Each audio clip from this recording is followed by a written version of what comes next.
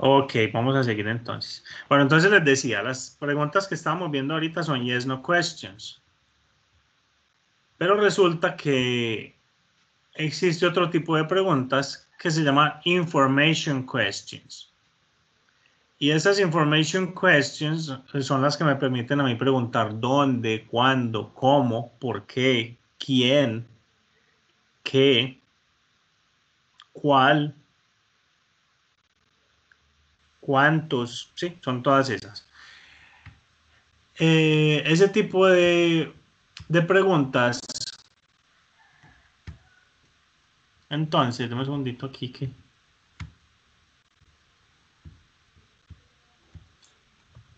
Bueno, ese tipo de preguntas entonces se llaman information questions. Ejemplos. Uh, do they live in Baltimore?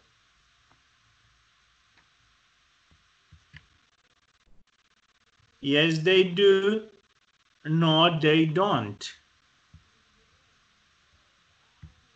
Sí, las dos opciones de respuesta que hay. Where do they live? Ahora, ya es distinto a que me pregunten where. Where do they live? In Baltimore. ¿Cierto? Yo puedo responder simplemente in Baltimore. Y aquí utilizamos este in, que es una preposición que me permite a mí eh, hablar del lugar, ¿sí? In Baltimore. ¿Cierto? Entonces, cuando yo eh, digo in Baltimore, estoy hablando de una ciudad, también puedo decir in Colombia, ¿sí? También puedo decir in Colombia si vivo en Colombia. Es decir, lo puedo utilizar para países, para ciudades, para un barrio inclusive. Por ejemplo, I we live in Bello, por ejemplo. Does Alexei live in Moscow? Yes, he does. No, he doesn't. Where does he live? Entonces miren que ya la estructura con la WH, con la pregunta pues de information question, que son estas que tienen WH, primero irá la WH, luego va el auxiliar, luego tenemos el pronombre y luego el verbo. Así cambia, digamos, el orden o, se agrega como esa WH. Where does he live? In Cape Town.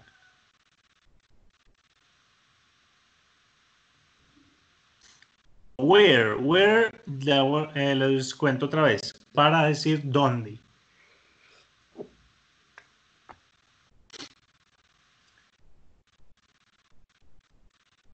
Plus do or does, plus do or does, dependiendo del sujeto o pronombre, más el sujeto, they, or Alexi, or he, más el verbo principal. Entonces ahí están todos los ejemplos. Do they live? Where do they live? Does Alexi live?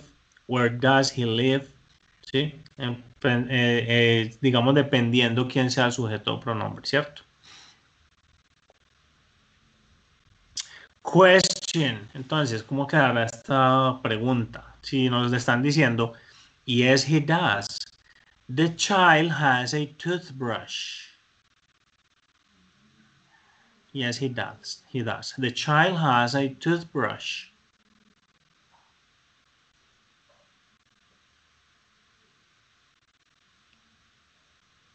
Does he has este- a Toothbrush. Ok, pero entonces, ¿qué pasa? Recuerden que para hacer la pregunta el verbo debe quedar en su forma simple. Mm, okay, ¿Cuál es la forma simple de este? To have. Exacto. Entonces sería, does the child have a toothbrush? Very good. Very good. Excellent. Ahora, in the bathroom. Esa es la respuesta. In the bathroom. He brushes his teeth in the bathroom. Es decir, que aquí ya la respuesta tiene que ver con el lugar, ¿sí? ¿Se acuerdan? ¿Cómo será la pregunta? Where does? Okay, very good. Where does? What else? The subject. What is the subject?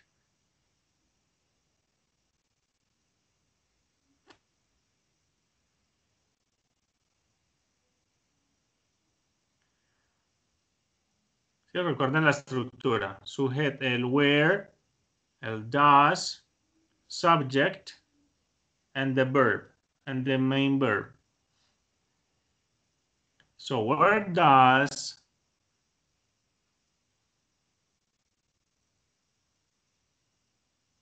He have. Mm, okay, he okay, but the verb. The verb here is Brushes. to brush. To brush. Brush. Very good. Okay, so como el verbo queda en su forma simple será Where does he brush his teeth? ¿Cierto? Porque vuelve y queda, como les digo, como utilizo el auxiliar does, queda el verbo en su forma simple. So where does he brush his teeth? Answer. The answer is yes, she does. Lucy likes to read at the library. Lucy likes to read at the library. What is the question?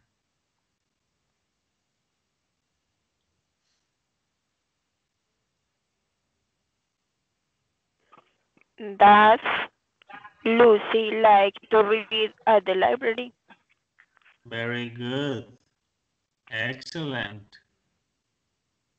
Very well. Yes, she does. This is a yes, no question. Yes, look. Yes, she does. Ok. Ahora. eh, ahora, ahora vimos con where, ¿cierto? ¿Dónde? Y ahora vamos a mirar information questions con when and what time. Cuando yo pregunto when y cuando pregunto what time, estoy preguntando cuándo, a qué y a qué hora. Examples. When do you go shopping? What time do you go shopping? En este caso, ambas podrían responderse con lo, de la misma manera. When es cuando, what time, a qué hora. Entonces, question word, tenemos esta que se llama question word, que equivale a esta, miren, tiene el mismo color. When, plus do or does, plus the subject, plus the, plus the main verb. When do you go to work? At 8 o'clock. Puedo responder con la hora, ¿cierto? What time do you go to work? At 8 o'clock. Es decir, en este caso, ambas respuestas equivalen a preguntas con when o what time. Ahora, cuando yo tengo estos dos sonidos iguales, recuerden, what y después tengo time, solo pronuncio esta T. O sea que digo what time. What time do you go to work? At 8 o'clock. When does he exercise? At 10 o'clock. What time does he exercise? At 10 o'clock. La misma, equivalen a lo mismo en este, en este caso. What time do you usually go to class? Entonces miren que aquí metimos un adverbio de frecuencia, como los que vimos al comienzo. Y siguen teniendo la misma posición. What time do you usually go to class? ¿Sí? Entonces tenemos el sujeto, el adverbio de frecuencia y el verbo principal.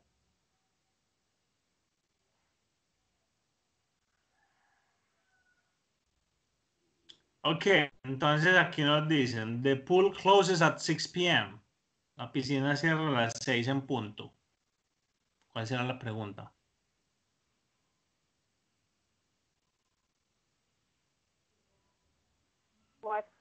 Does the pool close? What time? Very good. Or when does the pool close? Muy bien, cualquiera de los dos. When does the pool close or what time does the pool close? Very good. Y miren que como es una sola piscina, miren, the pool es una sola piscina, al verbo debo ponerle la S. The pool closes. Porque recuerden, es tercera persona singular. Y ya estoy dando la respuesta. I eat lunch at 12.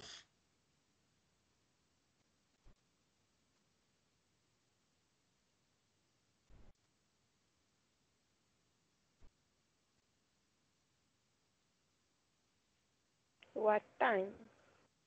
What time or when.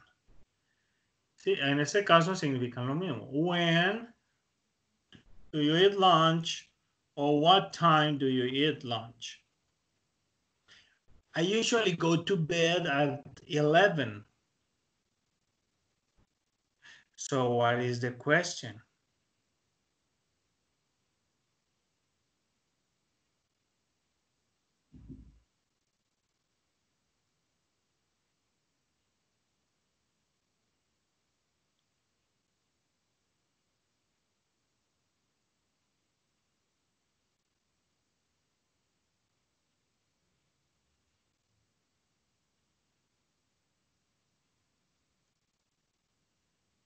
Acuérdense de seguir el orden, la, la WH, el do, el pronombre principal. Y en este caso tenemos el usually, tenemos el adverbio de frecuencia. When do you usually go to bed? Very good. Or what time do you usually go to bed? Muy bien. Sí, ok. Entonces aquí tenemos un resumen, a summary de eh, information questions with be and do. Sí, entonces aquí vamos a mirar. Where is Botswana? Where is Botswana? En este caso tenemos la question word, que es where. Tenemos luego la forma del to be y luego tenemos el sujeto. Entonces, si yo digo where is Botswana, ¿qué me responderían ustedes?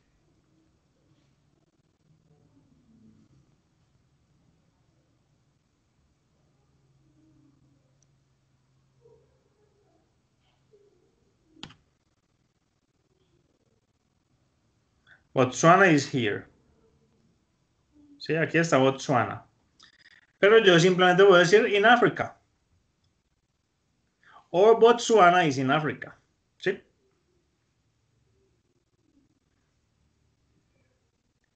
Where are your gloves?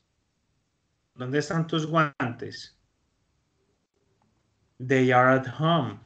En la casa. They are at home. When is lunch?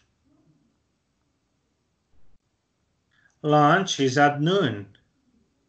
At noon. Cuando miremos la hora, vamos a mirar esto, este tipo de expresiones. At noon significa las 12 del día. What is your name? Esta sí es muy común. What is your name? My name is Uma. My name is Lina. Uh, cualquier. What time is the movie? The movie is at 5. ¿Sí? Entonces, miren, todas estas tienen que ver con el to be. Y las respuestas también tendrán involucrado al to be. Ahora, estas que tienen eh, do como auxiliar, pues porque el verbo principal es diferente al to be. Where does she live? She lives in Belgium.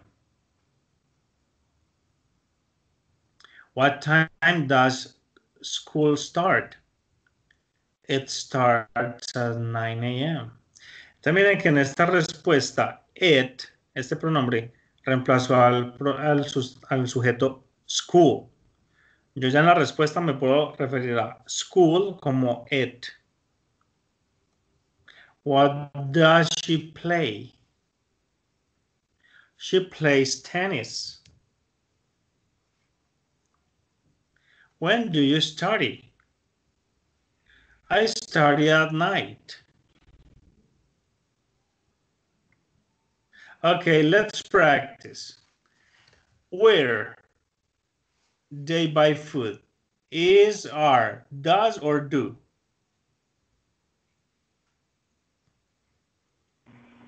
Do. Very good. Where do they buy food? Very good. What time the train leave? Este verbo leave es el verbo dejar o salir.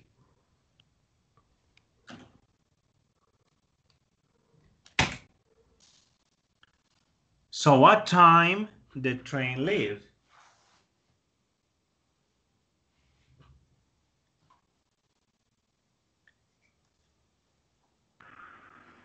Do.